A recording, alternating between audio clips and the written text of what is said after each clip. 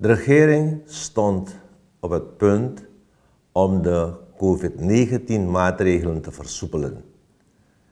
Met de ontstaande alarmerende situatie vraag ik u echter begrip voor onze beslissing om deze aanpassing aan te houden, totdat we een beter beeld hebben van de toestand in het binnenland, met name aan de grenzen. Op maandag 27 april, na de bespreking met de politieke partijen, ontving ik het alarmerend bericht dat aan onze oostgrens, aan de Franse zijde, nog 12 mensen positief zijn getest met het COVID-19-virus. Even later werden wij geïnformeerd dat er intussen nog vijf bootslieden positief zijn getest, ook aan de Franse zijde.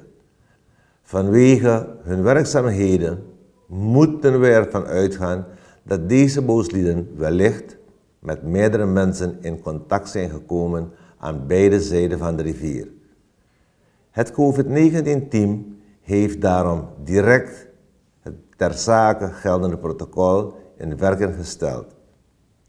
Het Surinaamse dorp Chabo Tabiki, waarvan de mensen in contact zijn geweest met besmette personen, is direct in quarantaine geplaatst.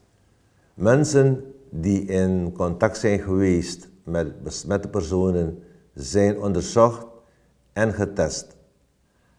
Alle testen aan de Surinaamse zijde zijn tot nu toe negatief. Het onderzoek wordt voortgezet. Momenteel is het COVID-19-team samen met de Fransen bezig met de opsporing van de mensen die in contact zijn geweest met de besmette personen. Het zal tot tien dagen duren om een beeld te krijgen van de graad van de mogelijke besmetting. De ervaring leert ons echter dat één positieve test betekent dat er mogelijk vele andere reeds zijn besmet. Vaak nog zonder dat zij dat op dat moment weten of ervaren. Met dit schrikaanjagend aantal COVID-19 gevallen aan de oostgrens zou dit volgens de rekenmodellen kunnen leiden tot rond de 150 tot 200 besmettingen binnen 1 à 2 weken. De dignitarissen van de gebieden zijn inmiddels op de hoogte gebracht en wij blijven met hen in constante dialoog. We weten dat de mensen die langs de rivier wonen, beide oevers van de grensrivier als woon- en leefgebied gebruiken. Met name de verplaatsingen op de rivier vormen momenteel een groot gevaar voor verspreiding van COVID-19.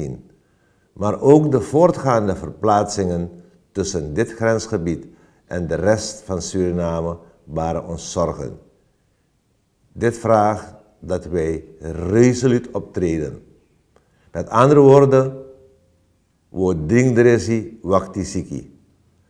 We willen immers voorkomen dat wij moeten dealen met een ongecontroleerde COVID-19-uitbraak, zodat, hoewel enigszins aangepast aan de omstandigheden, ook de verkiezingen op een veilige manier kunnen plaatsvinden. Om de gehele bevolking van Suriname, van Suriname te beschermen, rekening houdend met de verschillende geaardheden van de diverse gebieden, heb ik besloten de volgende maatregelen per onmiddellijk te nemen. 1.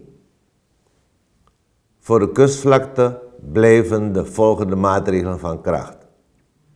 De partiële lockdown duurt voort. De publieke gezondheidsmaatregelen blijven van kracht. Regelmatig handen wassen en 2 meter sociale afstand houden. Geen samenscholingen van meer dan 10 personen. 2. Ter beheersing van het Tapanahoni en het Lawa-gebied zal er ingaande donderdag 30 april 2020 een totale lockdown gelden op de rivieren in dit gebied. Het gaat hier om afsluiting van de Marowijnen, de Lawa en de Tapanahoni rivier tot 10 mei 2020. Essentieel verkeer blijft toegestaan. Dat want taki, alibai tapu vanaf Galibi, go tena Kamakopang en sma nomah paliba. Essentieel verkeer, dat want taki, you abi skoutu nga soldati you abi desmaf COVID-19, you ab datra, you ab desmaf medische zending, dat ding kan go tap, uh, tap aliba.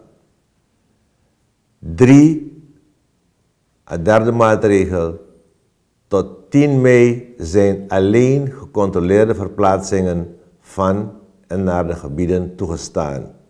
4.